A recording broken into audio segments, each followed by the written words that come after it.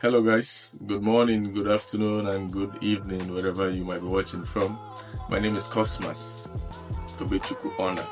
I live and work here in the UAE. And now, the truth about the issue is that I'm on screen now because uh, I'm bringing you a good news. We're actually hiring my company where I work. My, uh, our names are Zone Delivery Service. And I work there, I've been working there for over some years now and we're actually hiring black riders from Africa. We're actually into delivery.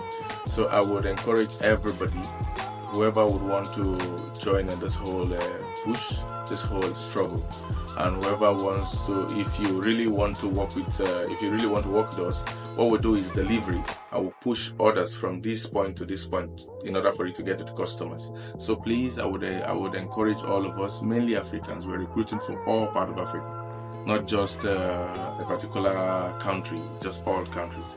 So please, if you're interested, I would tell you to just go for it. It's nice, and then the salary are way, way, way more interested.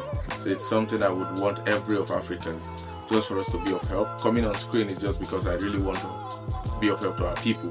And then with this platform where I am now, I really want us to push and then make sure we get more of Africans here.